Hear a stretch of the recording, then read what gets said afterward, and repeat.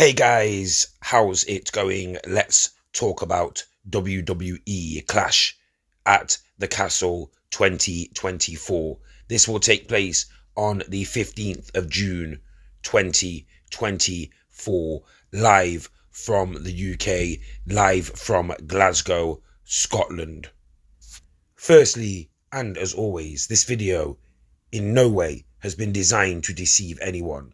There is no actual footage in this video. This video is audio only, and this video has been created to still photos only due to copyright issues.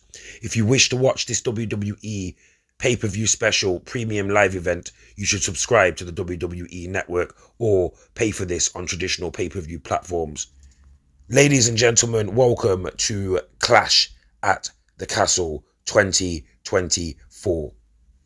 Drew McIntyre will return to his home country and he will get a shot tonight. I'll talk about that in a second at the World Heavyweight Championship.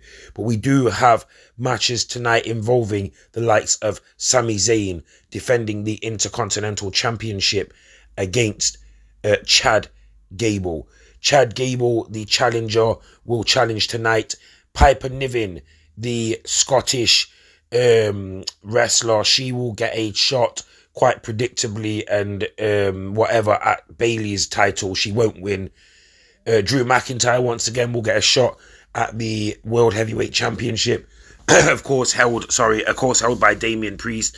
I think CM Punk will have some involvement here. Drew McIntyre will not be leaving as champion.